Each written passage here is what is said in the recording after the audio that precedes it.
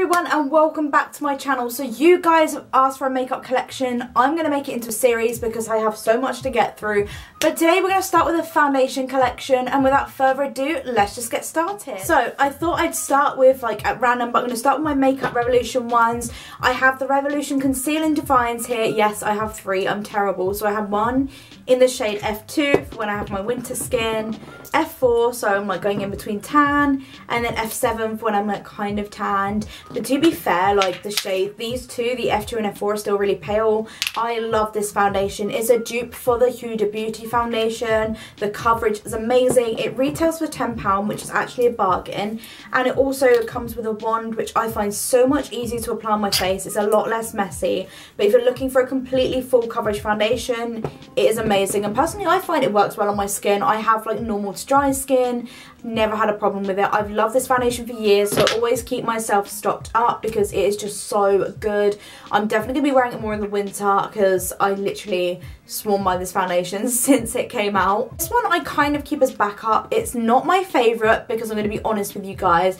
This is the Revolution Conceal and Glow. It's a medium to full coverage. It's kind of buildable. It's got vitamin E in it and it's like a more illuminating one, a glowy dewy one, you name it. I actually got mine too pale. This is actually F6 but it's still really pale. It's a pump one. It's not bad, like it's not horrific but it's not my favourite. I don't know, it's kind of one I'd use if I'm running low or something, but haven't used it for a while, so I just keep hold of it. It's also very fair for F6, so like at the moment it's not going to work with my skin because I have tan on. But I do love the packaging as well. I do like the packaging. I was really excited to try this and I was a bit like mm, it could have been better but I do love the glowy finish it does give. And then another one I used to love is the Revolution Pro foundation drops. I use this more now to mix with other foundations to make them lighter.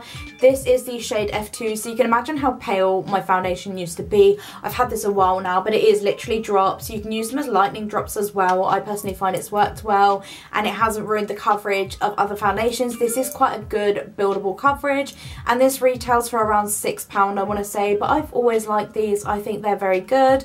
Um, I probably would pick it up again. And then the next one, I think this is my last Revolution one I bought. No, it's not, I lie. This is the Revolution Foundation Sticks in, I have it in F10. Look how mangled that is now. Um, I can't say I've used it for a while. Um, F10 still is like the colour I used to fake tan. It sounds like it's going to be really dark, but honestly, it's actually not. Coverage is amazing. I know a lot of people that love the foundation stick and they love the coverage. It retails for around £5, which isn't bad. Um, I used to swear by this. I do have it in a few other shades. I don't know if they're in my drawer or whether I got rid of them in the end. Let's have a look. I do have one here. What shade is this? This is in F5, so this one's a little bit lighter, so that one looks more lively. Um, yeah, I do love these foundations though. They're sort of backup ones again. I think I used F10 more for contouring because it was slightly too dark, but it was on like the damage section, but there was actually nothing wrong with it at the time. It kind of melted through the heat at home. So I picked it up for like £2 instead of 5 which isn't much of a bargain, but it is also a really big bargain and um, yeah I've kept it for contouring and it does work really well for that that's another one if you're looking for a good full coverage foundation and it does work well if you use the right primer I want to say this is the last one I actually bought of theirs. This is the Revolution Pro CC Perfecting Foundation. It's got SPF 30 in it, which I love. It is a very, very, very sheer foundation, like very sheer tint because it's more of a tinted moisturiser. And I've got to admit, it actually came this thin pretty much. So Revolution, what's going on with your packaging? Like, and I've got mine in, did I even say the shade? Does it say the shade? F5.7, so it's like a kind of medium tone. And I'd say it's more on the light side. It is still very very fair if I remember. Yeah, it's still very fair. So if you're fair skinned, I'd go for this sort of shade. Um, I used it a lot over summer because it was too hot to wear foundation, but I still wanted that bit of coverage. And these retail for around 8 to £10. But I do love the packaging as well. Literally believe most of these are drugstore. Yeah, they are. I'm such a drugstore queen. I love a drugstore foundation. The next one I've got, excuse the mess on it, it's just you know how makeup gets when it's sat in a drawer, is the Barry M Fresh Face Foundation. It's got hyaluronic acid in it and vitamin C. And when I tell you this is really lightweight as well, it is really lightweight. It's not a full coverage. It is very sheer. Again, I love the packaging. I was just dying to try their new foundation, to be honest. Sorry my phone keeps going off. I thought I had a message. Um, yeah, I was dying to try it. And to be fair, it's not bad. It's one I'd probably wear again more in summer because I love a coverage more at this time of year, especially as my skin gets more patchy and red and blemished um, throughout the cold. But this retails for around six, seven pound. It is not bad if you're like new to makeup and starting out and you're younger as well. I'd recommend trying something like this instead of going straight for something more full coverage like the Revolution Conceal and Define. Um, this one will probably work a lot better. This is by far my favourite skin tint, especially over summer. I swore by this. I'm definitely going to pick up another. This is the L'Oreal Skin Paradise, the tinted water cream in the shade Oh gosh, I don't know if it has the shade on it medium. Yeah, I got this on Depop for like £5 but it had never been used so I was really happy. I love this. It gives a gorgeous dewy finish. It has like a medium to full coverage. It also gives enough coverage so you feel good with it. It gives a lovely glow. I cannot fault this. It's gorgeous and the packaging is so nice as well. I'm definitely going to pick this up again. I literally am obsessed. Um, I got mine in a medium because I wore more tan over summer obviously my skin was a bit more tan anyway. But I literally, I cannot fault this. I highly recommend having having this in your makeup bag. Another one I got on Depop over summer is the Florence by Mills um, Skin Tint. This is the Like a Light one.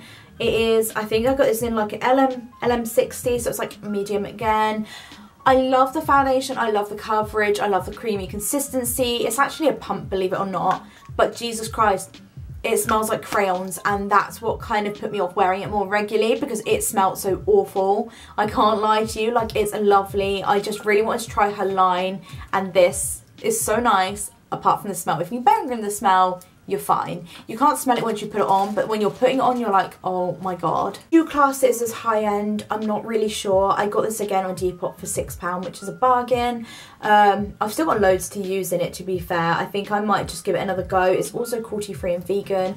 I'm unsure of how much this retails for, but I swear it's like £15. Imagine I got this for a pound in damages just because the top was like unsealed, so I just, you know, retaped it up and it was fine. This is the Barry M Instant Blur Body Foundation with with vitamin E and aloe vera. It was my perfect shade. I was like, it's asking for me to buy it. So I bought it. First, the sizing. This is £10, but it's amazing. It's lightweight. It does give an amazing coverage. It's so good if you do like body art, like, you know, chest-wise.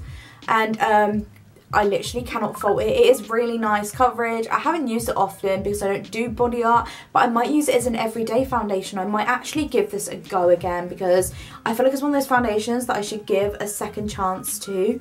Yeah, it's actually really nice and it smells really nice. It smells like a really nice moisturiser and it is very hydrating. So anyone with dry skin that wants a foundation that will last them, I definitely think this tube's going to last you a while. Okay, this bad boy I picked up in Poundland and it is the Bourjois City Radiance. Um, tint. Oh my god, let me have a look. I'm trying to find the shade. It's in Golden Sun, so it's a little bit dark, so I do lighten it, but I thought it's a bargain and it's a classic, so I'm going to mix it up with a lighter foundation, and honestly, it is so nice. I forgot about Bourjois, because obviously we don't really get it in the UK anymore. It's no longer in Boots was it even ever in Superdrug? It was, wasn't it? And um, yeah, I literally love this foundation, so I did use this quite a lot. It's a really good coverage as well, and it is also very buildable. You can probably get this on Amazon as well, so I check that out if you want to give it a go. Fun fact, obviously my mum used to work for Estee Lauder in Clinique, so she used to tell me the, the like tea and all the snazzy things when I was younger. Did you know Bourjois is owned by Chanel? And Estee Lauder's, Estee Lauder's cousin is MAC. I just thought it was really cool and a really random fact for you guys to know. Anyway, one of my drugstore go-tos that I absolutely adore is actually the MUA Pro Base Foundation. I get mine in 146. I love this. The coverage is insane. It's kind of a dupe of the Estee Lauder Double Wear.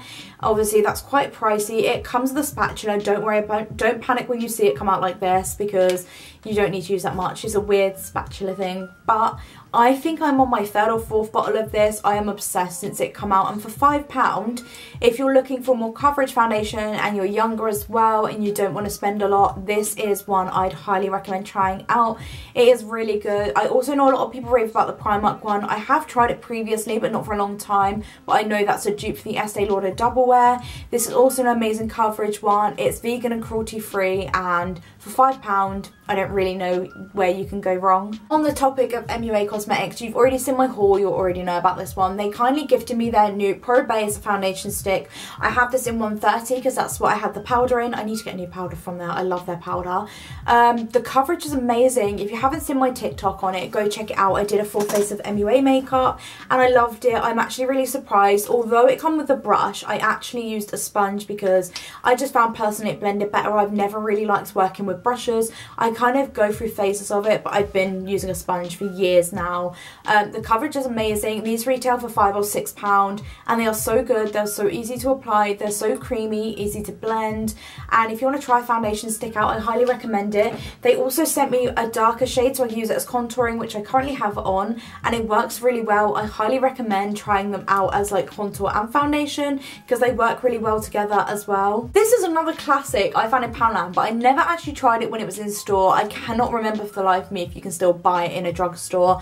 This is the Maybelline's Dream Velours foundation. Oh my god, it is so, oh my god, it's so good. I actually got this in Sun Beige because that was the lightest they had. So obviously again, I was lightening it with lightning drops. But to be fair, it wasn't even that dark. It is, I believe, matte based, but with the right primer I found it wasn't too bad on like normal to dry skin. It wasn't actually like patchy or anything although the only thing I found is because it's an old school one obviously the shades back then weren't as great so it was a little bit tiny bit on the orange side but you can tone it down with powder and whatnot. But it's actually not bad and I just wanted to try it so I thought I'd get it and Poundland is a pound you've wasted it's not that bad. Oh my god where did I get this from? For a bargain. I think it was Depop. Yeah, I rebought it on Depop because I got it from Sainsbury's because the lid was broken. The pump thing, you had to hold it down when you pushed it instead of like, you know, you had to pop it back on and off. And I loved it. This is the Maybelline Radiant Liquid Foundation in Nude. Honestly, it's like a medium to full coverage. You can like build it up again. It leaves a lovely glow. It is a good coverage. It's good for dry skin as well and it's worth the money. It is so nice. I love the consistency. I love how it blends. This is sort of more my everyday one which I wear to work because you know I don't want to use my favorite ones and like waste them. But yeah I definitely love this one. It's like my favorite kind of everyday one at the moment so I've been using this one a lot. Okay this is my all-time favorite foundation like drugstore whatever so far. This is the L'Oreal Infallible 24 hour fresh wear this is not the matte one this is the dewy one. I am in love. I always get mine in 140 because I always wear tan. My god my skin do be glowing. It looked gorgeous and it does last. Like it literally does not not budge all day. I used to wear it all day when I was running about when I worked at Superdrug and honestly my foundation was still flawless at the end of the day and I loved it. I used to come home and film TikToks and my skin still looked fresh. I loved it.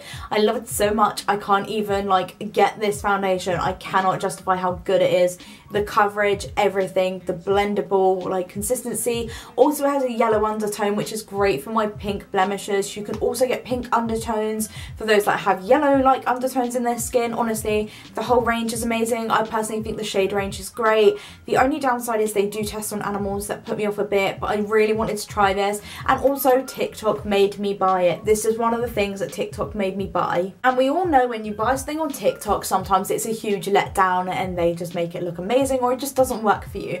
Another one a makeup artist on TikTok recommended to me is the Maybelline Superstay 24 Hour Full Coverage Foundation. Now I bought this a while back and I fell in love with it. She was not playing when she said she uses this on like her clients. It is full coverage. Again, it lasts. It's amazing. This retails for £10 but I actually got a brand new one on Amazon for £6 last week. This is a top up of it because I ran out. I bought one about two, three months ago and I'd run out because I used it every day. I love the coverage. It's amazing on dry skin as well and it just it gives you such a flawless look and it lasts so if you're working anywhere it's going to last on your face. If you need something, give this one a go. I really highly recommend it. Okay, question for my makeup gals and guys out there. Do you think £15 is a lot for a drugstore foundation? Because personally I do. It's drugstore for a reason.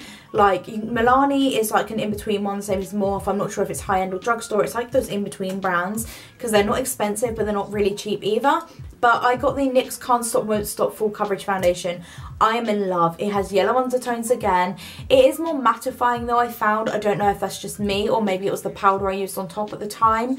Um, I love the fact it has yellow undertones but it's a little bit too yellow in certain lights so you have to be careful what lighting you use when you're wearing it and um, if you're like me and you're filming but I do love the coverage this was fantastic I actually again got this for £5 on Depop so I was really over the moon it was full brand new when I bought it as you can tell it's very loved. I need to give them a wipe really. But I love this foundation. If you wanted to try it and weren't sure whether to spend the money on it, I highly recommend you do because it is worth the money. Again, I think I saw this on TikTok.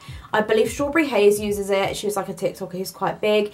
And um, yeah, she was not messing around when she said recommending this because it is so good. So my weird ass always wanted to try the Maybelline Fit Me foundation but obviously it was originally made for oily skin so it wasn't going to work with mine. It was mattifying. I don't like matte foundations and matte foundations don't like me. And then I found this not long ago, the Maybelline Fit Me Luminous and Smooth Normal to Dry with Vitamin E um, foundation. I actually got this again on Amazon for £6 last week and I fell in love with it. I currently have this on, I think. God, do I? No, I had it on for Halloween and it lasted all the way through the night. Um, this has sunscreen in it. It is in buff beige because obviously I wear tan. My god, they were not messing around. I love this. I love the consistency. Maybelline really do good with their foundations for the price as well and like the quality. I literally cannot fault them. This is another one for normal dry skin I recommend. I don't know if it's in drugstores yet. I haven't seen it in Boots, but you can get it on Amazon. I don't know if it's one of those ones that's released in America. Oh my god, I need the new Maybelline Eraser foundation. My god, it looks so cool. I just need it to try. Like, if I get it, I'll try it out for you guys because it's so cool. It has like a big sponge on it and I just, it looks cool. And I haven't seen it because it's like a US thing. So we'll check out Amazon. I have seen it on there for about £10. It might be a few pounds more, but that's not that bad. But anyway, I do recommend this. I really do. I am in love with this foundation and I'm loving it more every day. We are coming to our last one. Girls, if you have seen my video already, and guys, if you've seen my last video, you already know, Run to Boots, the number 7 Stay Perfect foundation is £5 at the moment. They're having like, I don't know if it's a clear out or a sale, like a flash sale, but it's the Stay Perfect foundation and it does give you such a flawless look. I'm glad I picked this up. I wanted to try this for so long. Um, I've seen a lot of people recommend it and I was like, I don't know, I've not really been a number 7 fan ever. I thought it was more for like elderly skin. I don't know like more fragile skin. But actually no I was completely wrong. I take that back. It is such a good foundation. It leaves a lovely glow and for £5 you're not really at a loss. You're definitely not at a loss, put it that way. I think it normally retails around £15 so it's worth giving a go while it's on offer. I am obsessing over it. Anyway, that was the last of my foundations. We are going to do concealers and powders next. I feel like they can be done in one video. What do you guys think? Anyway, let me know your favourite drugstore foundations down below because I'd love to know which ones you guys like and dislike and I'll see you guys in my next video. Bye!